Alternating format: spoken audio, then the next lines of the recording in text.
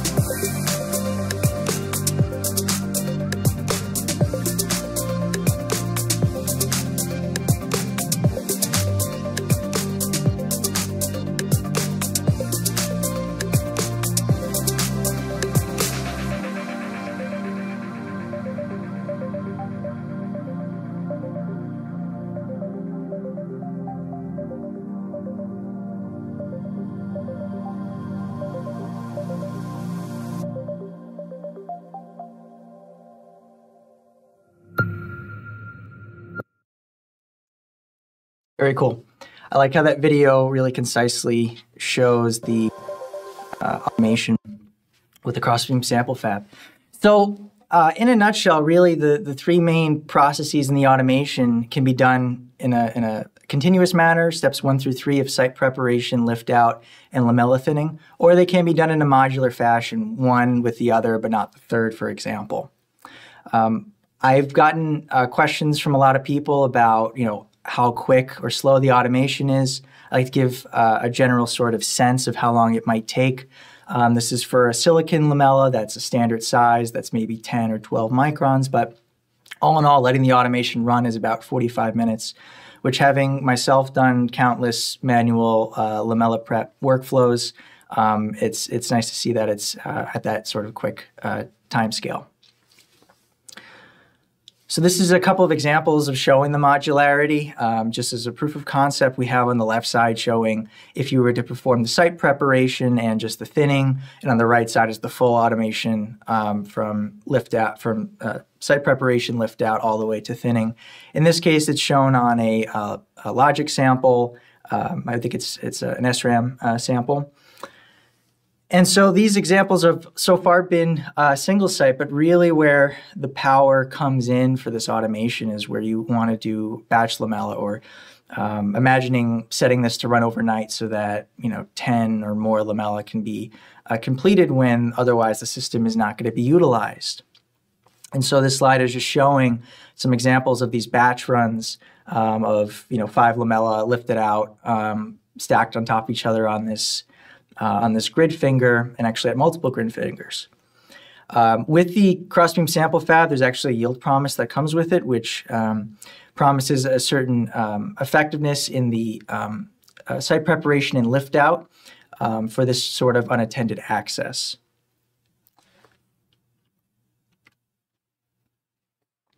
You'll also notice that uh, in the workflow video that I'm about to show that the um, user interface is consolidated so that SEM, FIB, an internal camera, and a navigation image are all in one sort of view.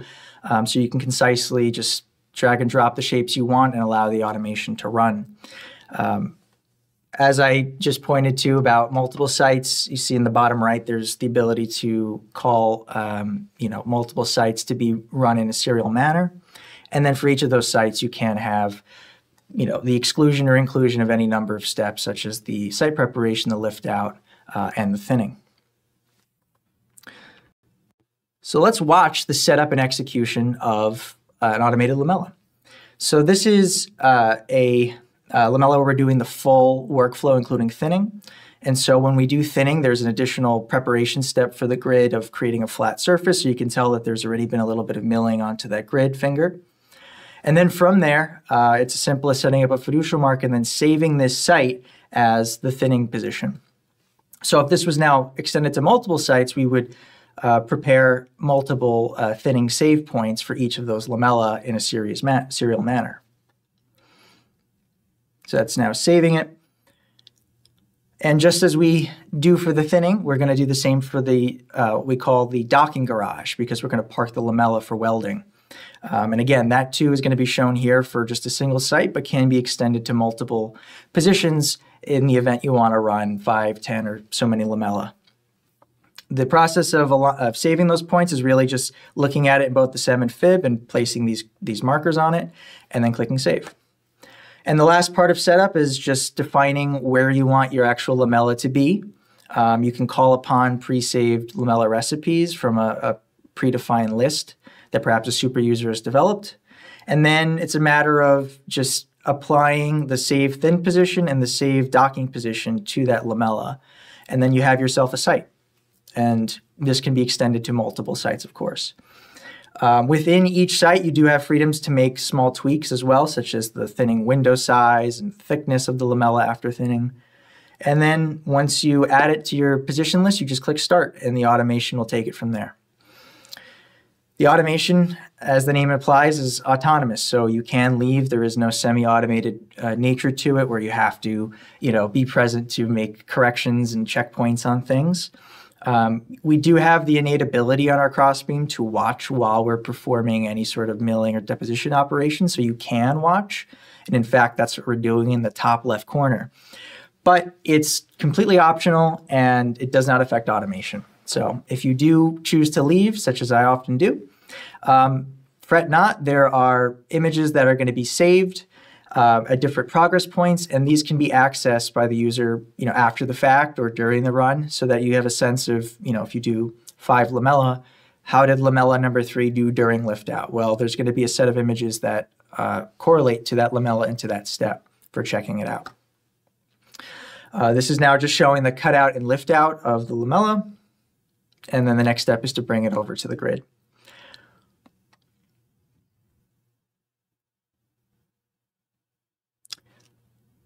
And when it now docks to the grid, you're going to see um, a nice uh, straightness of the lamella as it uh, attaches to the grid. There's a, a, a very nice uh, proprietary methodology for um, docking the lamella so that it is robust and, and straight when we uh, weld it. And so that obviously correlates to better success rate when, when we're talking about thinning the lamella, making sure it's straight. And then lastly, the thinning process, which is handled by the automation. A user can specify a number of uh, milling steps, different over tilts and different probes, and in the end, you can aim for that specific thickness uh, target.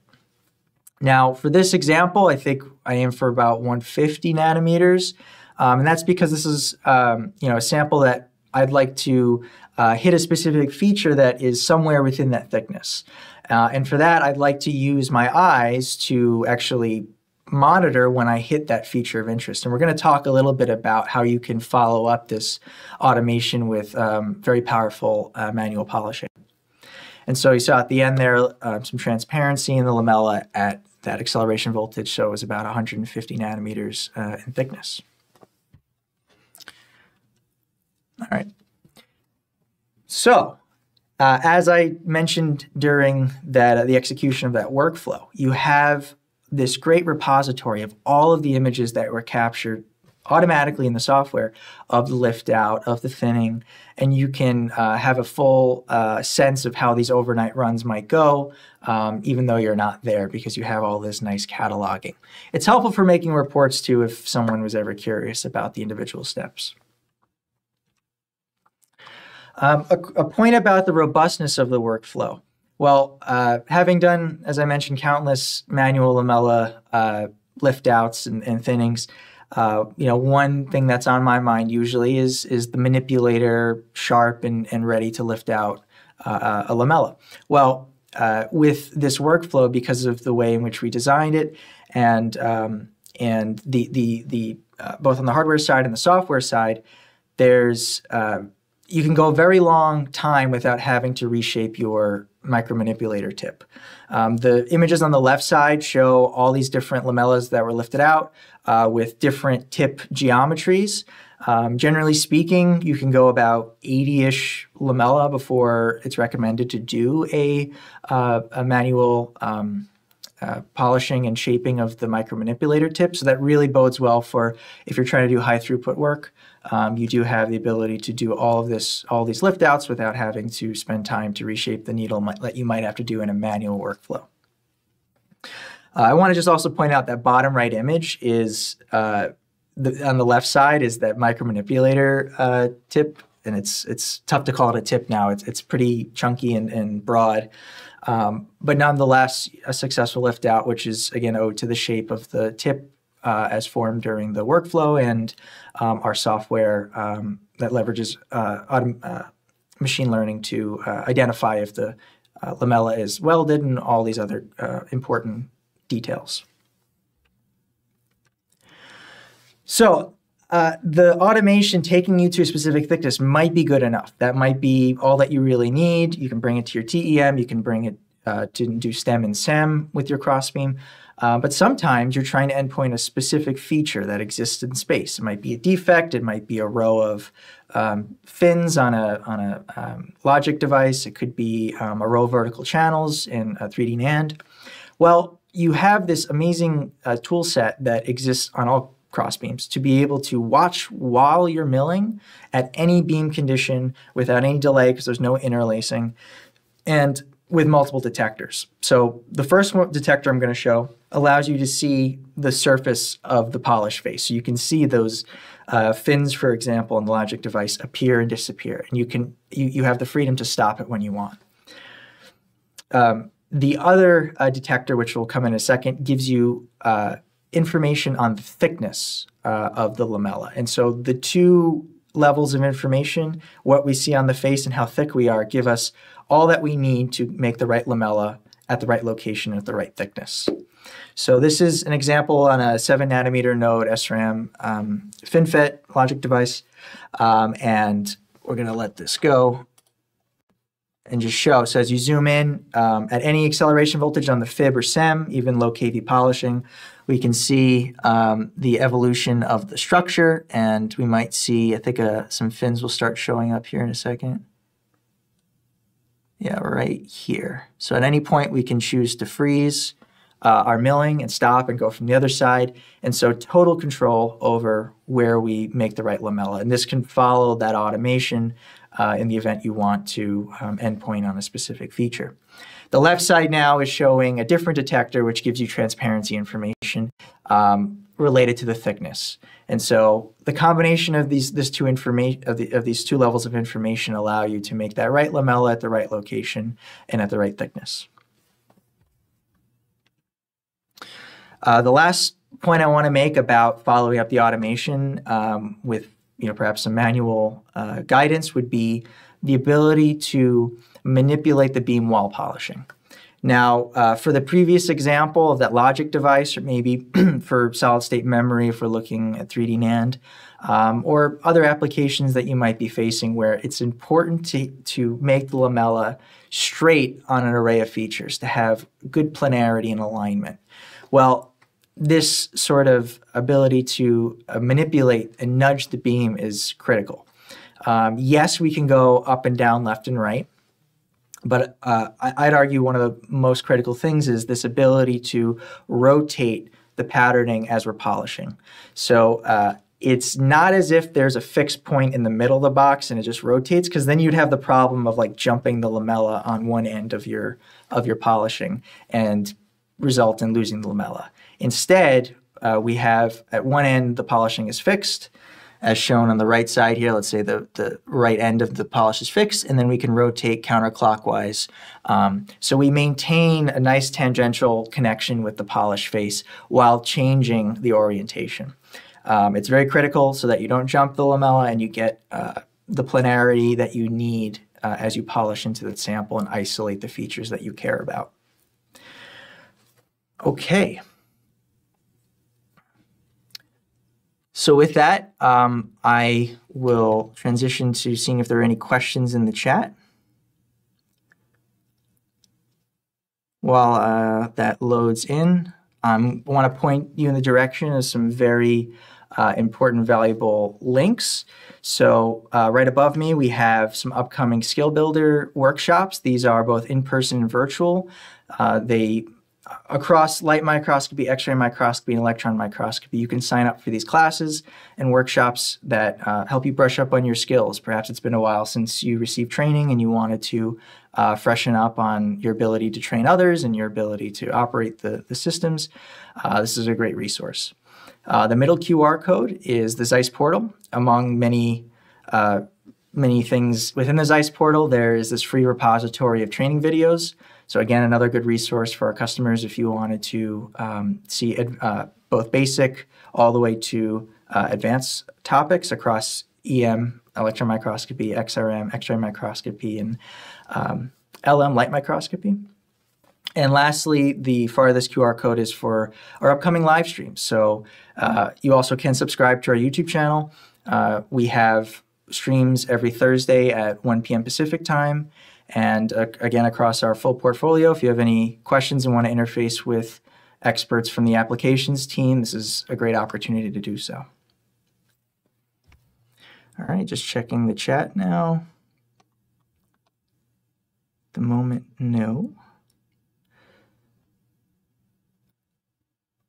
All right, well, then with that, I'd like to thank everyone for joining. I appreciate you taking the time, and uh, I hope you have a wonderful day. Bye-bye.